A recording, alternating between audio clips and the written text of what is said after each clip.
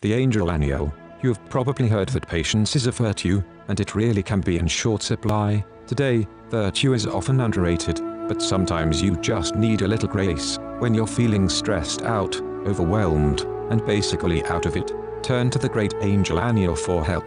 The angel Aniel, known also as Haniel, means joy of God, grace of God, or Lord of all virtues. All of creation is supposed to have joy and truth. Aniel can bring you courage and understanding.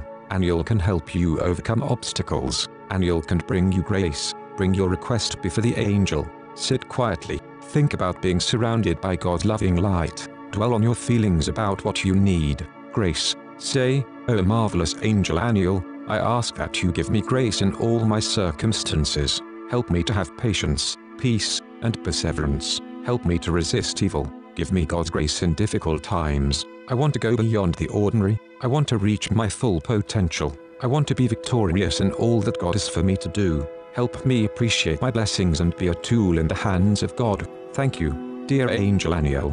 Feel gratitude for the angel's help, and know that God is always there to help you in everything that is right and good. Know that the magic works.